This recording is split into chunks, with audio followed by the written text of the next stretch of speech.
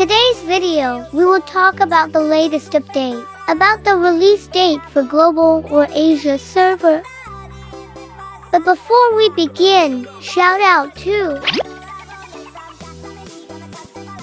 Hesketh2 posted this on Twitter. Someone spotted a Korean account for Honor of Kings. This account is created just this month. We've yet to verify it, but it seems legit.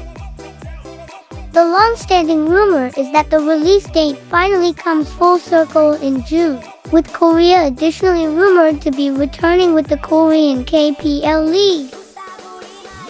But when I tried to search for the account on Twitter, the account had gone.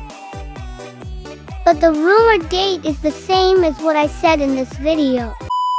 We talked about this in our last video, and Honor of Kings Myanmar Facebook page said that we should wait until June. According to the tweet, the Asia server for HOK is likely to be launched in the next two months. There is no Asia server yet, but Asian countries are now participating in the Honor of Kings tournament. Does this mean that an Asia server is coming soon?